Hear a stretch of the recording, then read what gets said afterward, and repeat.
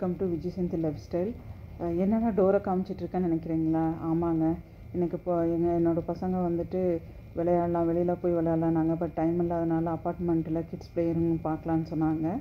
அதனால் அவங்கள இங்கே கூட்டிகிட்டு வந்திருக்கேன். ஆல்ரெடி அவங்க உள்ளே இருக்காங்க. ஸோ இப்போ நான் வந்துட்டு வீடியோ மூலிமா உங்களை உள்ளே கூட்டிகிட்டு போயிட்டு நான் காட்ட போகிறேன் வாங்க உள்ளே போயிட்டு என்ன இருக்குது எப்படி இருக்குதுன்னு உங்களுக்கு காமிக்கிறேன். பாருங்கள் வாங்க உள்ளே போகலாம் ஓகே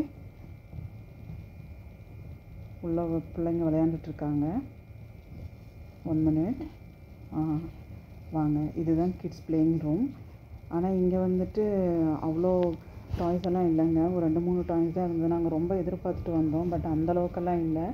ஆனால் இந்த ரெண்டு வயசு குழந்தைங்க ஒன்றரை வயசு குழந்தைங்க அந்த மாதிரி குழந்தைங்க வந்து நடக்கிறதுக்கு ஓடுறதுக்கு தவழ்கிறதுக்கு அந்த மாதிரி வேணால் இங்கே நல்லாயிருக்கு நீங்களே பார்க்குறீங்களா ஸ்விங் இருக்குது அதுக்கப்புறம் இங்கே பாருங்கள் சர்க்கிளில் இந்த ஸ்கொயர் பாக்ஸ் எல்லாம் வச்சுருக்காங்க. ரெண்டு ஹவுஸ் வச்சுருக்காங்க. அப்புறம் ரெண்டு கார் மாதிரி வச்சுருக்காங்க. ஸோ இதெல்லாம் வந்துட்டு இந்த one one year one year குழந்தைங்க ஒன்றரை வருஷம் குழந்தைங்க இவங்கெல்லாம் விளையாடலாம். பட் ஃப்ளோர் ரொம்ப நல்லா இருக்குது ரொம்ப சாஃப்டாக கீழே விழுந்தாலும் அடிபடாத அளவுக்கு நல்லா இருக்குங்க. ஆனால் என் பிள்ளைங்க இங்கே வந்து நிறையா இருக்குன்னு எதிர்பார்த்துட்டு வந்தாங்க. பட் அந்த மாதிரி எதுவுமே இல்லை. இருந்தாலும் அவங்க கொஞ்ச நேரம் ரிலாக்ஸ் பண்ணலாம் அப்படின்னு சொல்லிட்டு வந்து கொஞ்ச நேரம் விளையாண்டாங்க. விளையாண்டுட்டு அவங்களுக்கும் சரி நமக்கு போர் அடிக்குது வீட்டுக்கே போகலாம் அப்படின்னு சொல்லி சொல்லிட்டாங்க. அதனால் சரி போகிறதுக்கு முன்னாடி உங்கள்கிட்ட எல்லாம் காமிச்சிடலாம் அப்படின்னு சொல்லிட்டு எல்லாம் இங்கே பாருங்கள் இங்கே பிளாக்ஸ் வச்சுருக்காங்க. இவ்வளோ நேரம் இதில் தான் உட்காந்து எல்லாம் ட்ரை பண்ணிகிட்டு இருந்தாங்க. அப்புறம் முடிச்சுட்டு தான் சரி போகலாமா ஒன்றும் இல்லை அப்படின்னு சொன்னாங்க சரி வீட்டுக்கு கிளம்பலாம் அப்படின்னு சொல்லிட்டு இது பண்ணோம்.